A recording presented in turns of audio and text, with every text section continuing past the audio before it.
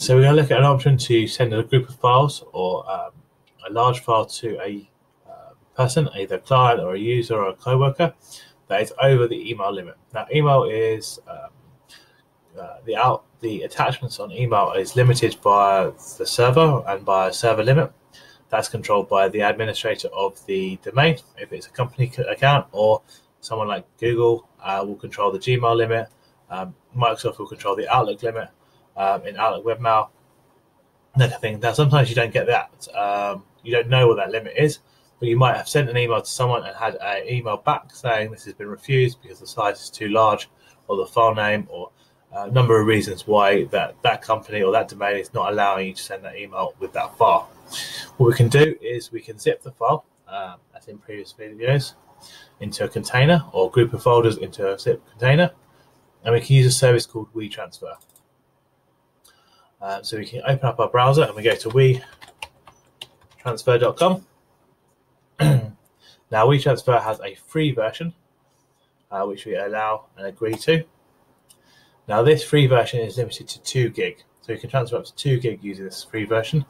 If you need larger or you use it on a regular basis, uh, you can actually sign in and sign up to their pro version, which is 12 um, euros a month, um, and that gives you 20 gig file size. Um, and it also gives you a few other benefits like they store it longer uh, for you and they leave the window open to download it a bit longer. But for now, we're just going to use the free version. So in the free version, in the free version, you've got a nice big add button. Uh, so you click on the add button, it's going to give you your Windows browser. We're going to go to the desktop and we're going to choose our zip folder. Once you've done that, it's going to upload it in the background for us. Uh, and if you had a larger file, it will show you a little progress bar. You can add more files as you go or folders as you go. Up until that limit, it's going to give you a total uh, amount remaining. It's then going to ask you for your email um, who you're sending it to.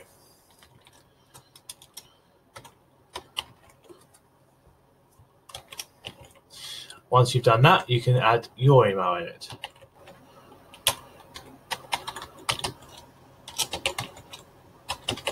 Once you've done that, you can add a message in saying, here are the files I promised.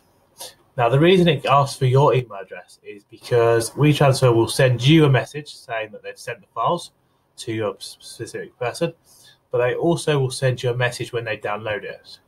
Now, this is quite important because with the free account, you get seven days. So, WeTransfer will hold the file in a secure location for seven days for you for that person to download it. Now, if they haven't downloaded it, you'll get an email back saying they haven't downloaded it, the link is now invalid. And if they try and use that link, it'll just error out. And obviously, they'll send you an email going, I can't access the files, or the files are gone, that kind of thing. And you understand why. If they download it, you'll get an email saying the files have been successfully transferred to so and so. And you'll know that the files are with your recipient. Once you set all the files up, you click on transfer. You go. And then they actually will verify the email for you. So once you've done this, the email will go across to the specific person. So you check your emails for this verification code. And I'm just going to grab it here in my other machine.